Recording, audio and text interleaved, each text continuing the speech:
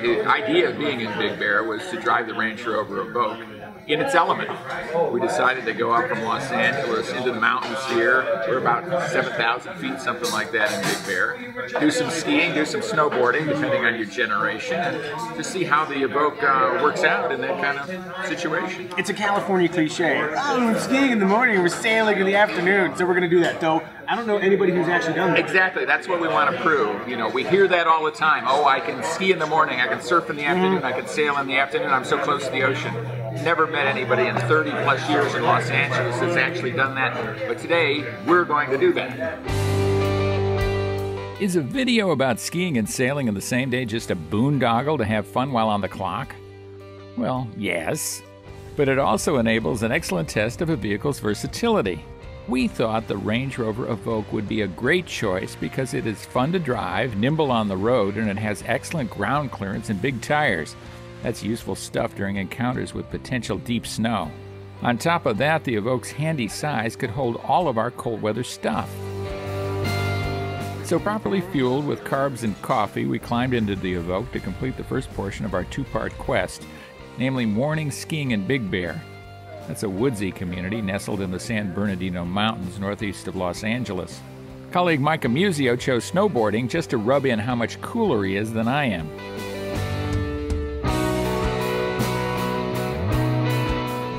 To learning curve and then easy street. What does that tell you about our skill level? We're challenging ourselves big time with this, right?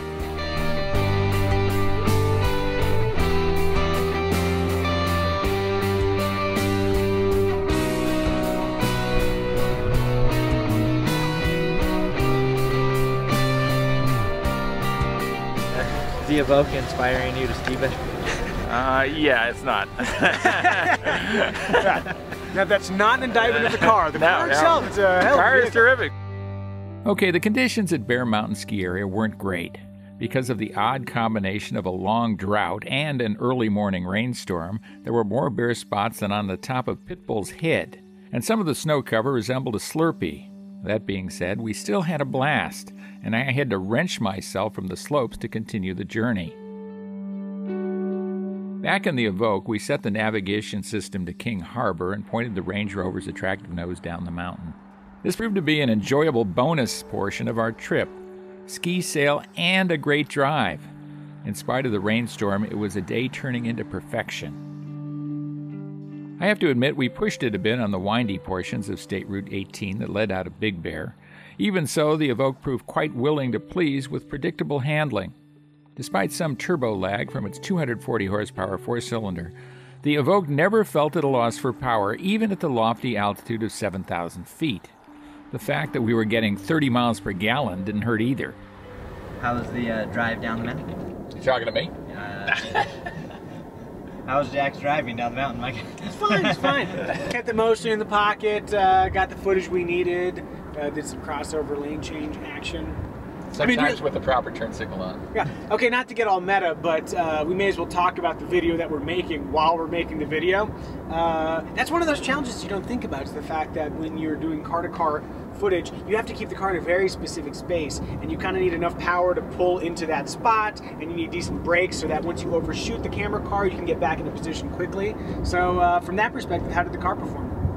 I think it performed very well, but there was a hint of turbo lag. More torque would be great to have, but at the same time, I think this uh, vehicle uh, acquitted itself quite well.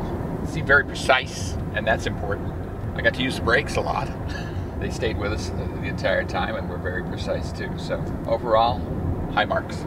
And we're driving from Big Bear Lake, where we started very near a marina, to uh, King Harbor Marina in Redondo Beach, California. Hey, Jack, what's in uh, in uh, King Harbor? Well, there's a sailboat there I know of. Whose sailboat? Uh, I have a sailboat there. Hey. Yeah. You know how the, uh, there's no better truck than the one that your buddy owns because you get to use it when you are moving stuff. The best sailboat is the one that uh, that your boss and friend Jack R. Nerad owns because then you don't have to pay all those expensive costs about you know putting in the slip and everything like that. You just get the breeze on board and go sailing like it's that Christopher Cross song from the 70s. There is something to that. There's a lot to uh, be said for knowing somebody with a good boat and having a good relationship with them. So, you know, work on that relationship, will you, Micah?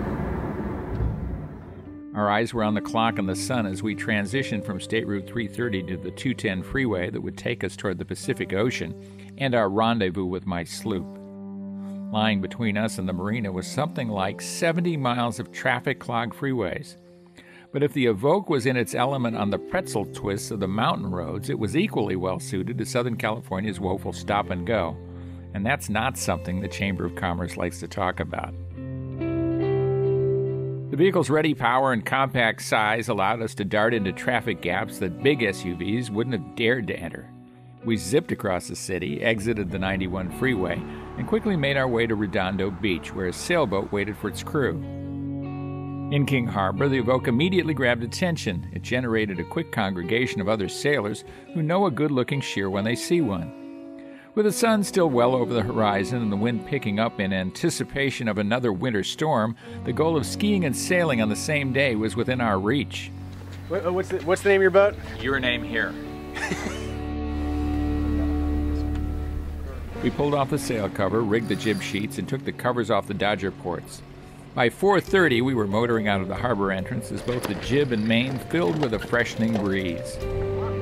There's a lot of stuff happening with ropes I don't quite understand, uh, but I think as long as Jack isn't screaming at me not to do what I'm doing, I think I'll be okay. Just gonna keep aiming in that direction. Clear of the swell at the harbor mouth, I killed the engine, silence closed around us, and we were sailing.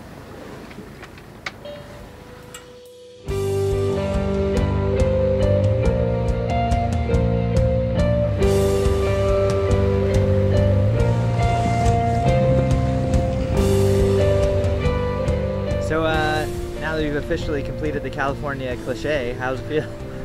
Feels really good, actually. Yeah, I, I'd suggest a high five if it wasn't Yeah, so cheese yeah. Well, let's do it. So, okay. Ah, all right.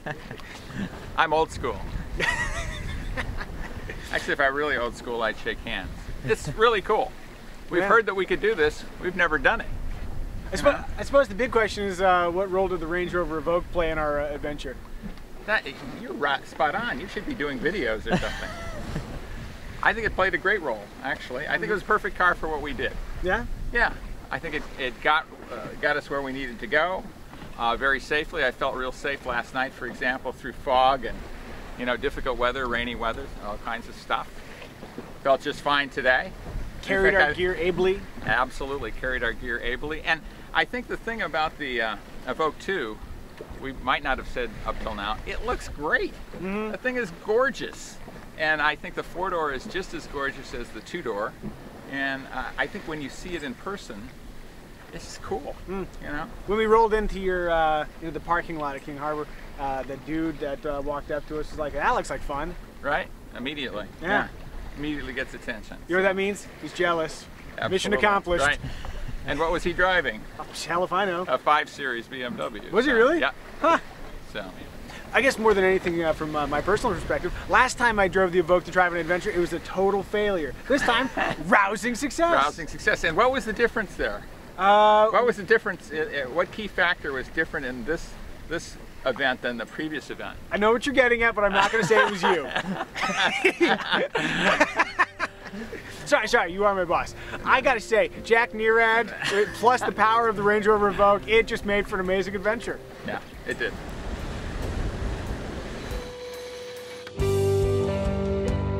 As the sun began to set, it struck me that the Range Rover Evoque has a lot in common with both skiing and sailing.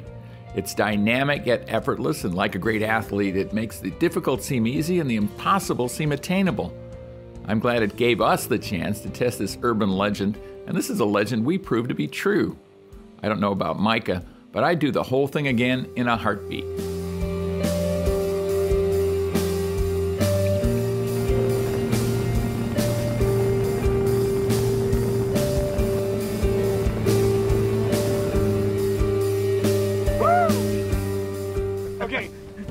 Adventures today, but that that might have been my favorite. Sailing, sailing plus quadcopter. Oh, that's Yeah. great.